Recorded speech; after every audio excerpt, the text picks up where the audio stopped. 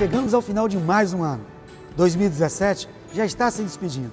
E é o momento para agradecer a Deus e a população do Maranhão pela oportunidade de representá-la na Assembleia Legislativa.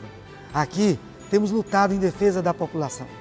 Temos denunciado, cobrado e fiscalizado para que a aplicação do dinheiro público seja verdadeiramente na educação, na saúde, na valorização dos professores, dos servidores públicos, na qualidade de vida dos maranhenses. Que 2018 seja um ano próspero e um ano abençoado. Que 2018 seja um ano muito bom para você.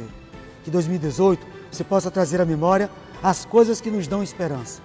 Que 2018 seja um ano de muita paz, saúde e prosperidade para você e sua família. São os votos do deputado Wellington do Cruz.